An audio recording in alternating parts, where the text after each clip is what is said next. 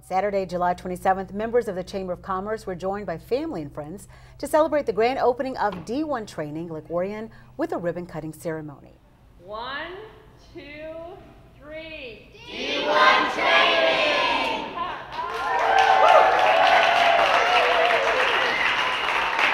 Uh, it means uh, amazing. It's, it's, tremendous support that we have from all our friends and family. Like she mentioned during the opening, um, to have the support of them and the tears and the emotions that came through all of it. Uh, but to see the people come out and show us the love and support for us, it, it truly means a lot to both of us. Located at 1216 South Lapeer Road in the Orion Marketplace Shopping Plaza, D1 Training is owned by Demetra and George Boulos and offers a variety of fitness opportunities for those of all ages to enhance their well-being and provide assistance while helping people achieve their fitness goals.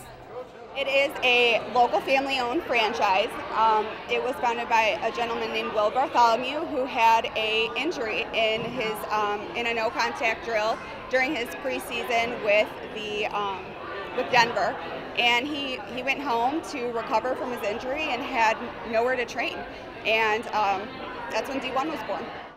D1 Training is a family-oriented center with trainers offering workout routines designed to fit each individual's needs and the equipment to offer well-rounded programs. So we opened our doors on June 10th, um, so we've been open for just over a month. Um, and it was kind of a no-brainer for us. We knew we wanted to be in Lake Orion. This is our home, this is our community, and the athletes that are within our community really inspired us to, to open this business. And so um, first and foremost, it was most important for us to be here. This is our home. For more information, you can call 248 814 2354 or visit d1training.com.